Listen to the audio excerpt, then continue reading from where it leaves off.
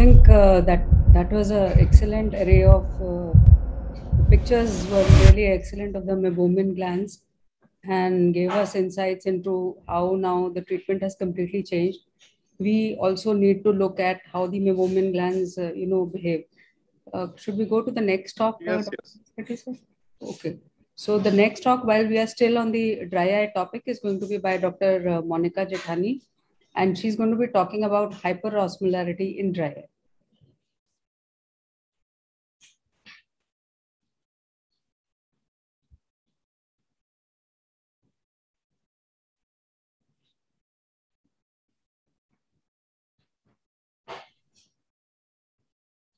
Monika, your slides are on. Just make it full full screen and go ahead. Yes, sir. Yes, sir. Yes, sir.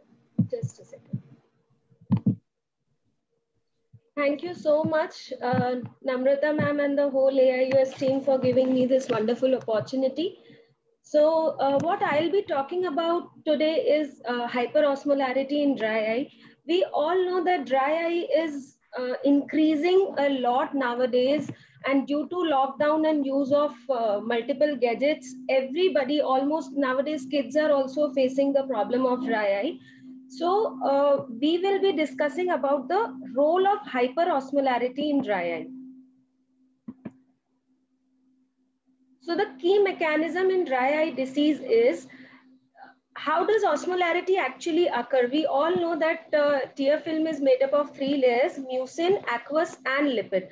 So when the aqueous layer becomes less, when the production is less or the evaporation is more, the solutes in the tear film increase, leading to hyperosmolarity, which in turns, because there's a lot of solutes, there's a lot of hyperosmolarity, it causes damage to the conjunctival epithelial cells. When the conjunctival epithelial cells are damaged, they lead to apoptosis. The cell start dying. Once the conjunctival cells die, it leads to the nerve stimulation because nerves are just below that. So it leads to the nerve stimulation, which in turn uh, leads to inflammation, which uh, Dr. Paras Mehta will be discussing in detail. Now this inflammation leads to activation of MMP uh, pathway and this in turn leads to goblet cell uh, loss. So in this vicious cycle, what we have understood is that it affects all the layers of uh, the tear film, which is because of goblet cell loss, there is there will be the defect in mucin, aqueous was deficient, and the tear film. So there are multiple factors which can uh, result in tear film instability. Uh, to name a few, blepharitis, uh, topical drugs, allergy, contact lens, LASIK surgery, ocular surgeries, systemic drugs, and so on. So with this, we have understood that actually there is a vicious cycle, the way, you know, the cycle wheel rotates. Similarly, because of all these processes like that is hyperosmolarity, apoptosis, and inflammation, a vicious dry eye cycle is initiated. So what we now need to do is how do we break uh, this cycle? So for that, we need to first look at the normal ocular surface. So in this, we can see that it's a very clean, neat, intake lipid layer is there. And there is adequate aqueous tear production. So the aqueous molecules are entering inside. Whereas if we look at the other slide, which is the dry eye pathology, there is tear film instability, whereas the lipid layer is deficient. And so the uh, to maintain the hyperosmolarity, the water is sucked from inside to out.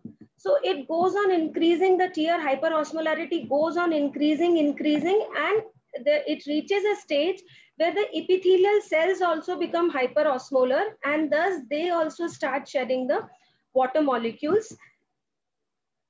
So normally if we talk about in a normal individual, the tear osmolarity is around 300, which increases to around 360 in dry eye patient. It also goes up to spikes up to 800 to 900 in the center of the cornea. But because this is a study, the, uh, the samples are not taken from the center of the cornea. So in this, it says that it goes up to 360 osmoles. So after having understood that the hyperosmolarity is the key, The tear film instability occurs because of tear film evaporation and aqueous tear deficiency. Hyperosmolarity, there are uh, mainly two types. First, there is tear hyperosmolarity. Later on, it leads to epithelial cell hyperosmolarity also. Inflammation, Paras ma'am will be discussing in detail. And apoptosis of the cells lead to goblet cell loss and dysfunction and meibomian gland dysfunction. So now after having understood what is the process which goes on in the dry eye disease, how do we treat it? So the role of hypotonic solutions is a transient. It, it gives you a relief, but it is a transient relief. So what do we need to do? We need to add some compatible solutes like which are the naturally occurring compatible solutes in our tear film like methylamine, uh, small carbohydrates like trehalose, polyols like glycerol, erythritol, amino acids like taurine. So we have added all these into a uh, drop form. Now, what is the possible role? How do they act and how do they bring back the hyperosmolarity to normal?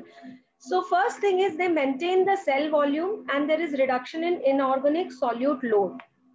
It also provides osmoprotection which stabilizes the protein and other osmosensitive macromolecules, maintaining functionality of the protein under environmental stresses. There are few more uh, cytoprotective effects we, which these compatible solutes offer, and they are antioxidant property, redox balancing in hypoxic conditions, sulfite detoxification, and calcium modulation. So uh, when it is about uh, referral, the whole talk is about referrals. So uh, this is the TearLab, which will not be available at uh, all the centers because this is pretty expensive. So if you really want to know the osmolarity of your patients, there is no clinical uh, study that can tell you that uh, how to measure the uh, hyperosmolarity. So if you are in such a city where you have a lab facility, you can always refer your patients and get the osmolarity done, though it's not a mandatory thing to be done. So coming to the key messages, dry eye disease is an inflammatory process triggered by tear film instability and tear hyperosmolarity. Anti-inflammatory agents are indicated for moderate to severe dry eye, unrelieved by topical lubricants. First step is topical lubricants. If, still the patient is uncomfortable, we can add anti-inflammatory agents, but corticosteroids and tetracycline are effective anti-inflammatory agents, but the long-term use must be weighed against the risk of potential adverse effect. So it can only be used for a very short duration and not for a very long duration. So what do we do? Cyclosporin is a very good option in uh, such severe dry eye uh, patients. So in conclusion, dry eye is a significant condition with an increasing incidence. Ocular surface damage may be present even in presence of a normal tear film. And untreated dry eye disease has serious consequences, even amounting to vision loss secondary to ocular surface damage. It can also increase the risk of infections in the cornea because tear has uh, anti, uh, anti-infective properties and efficacy of conventional tears in today's uh, practice is very limited. Osmot osmotically regulated tear preparation help repair the ocular surface damage and improve the quality of life of dry eye disease patients. So tear hyperosmolarity uh, cell utilizes short-term inorganic solute uptake and long-term compatible solutes regulatory mechanism to maintain the osmotic balance Hypotonic solutions provide only transient relief from tear hyperosmolarity. Compatible solutes help restore the tear film osmolarity, provide osmoprotection from the environmental stress, and have other cytoprotective effects on the ocular surface epithelia. Incorporating compatible solutes with different kinetic property in one solution may be more effective in protecting patients from dry, dry eye disease. Thank you so much.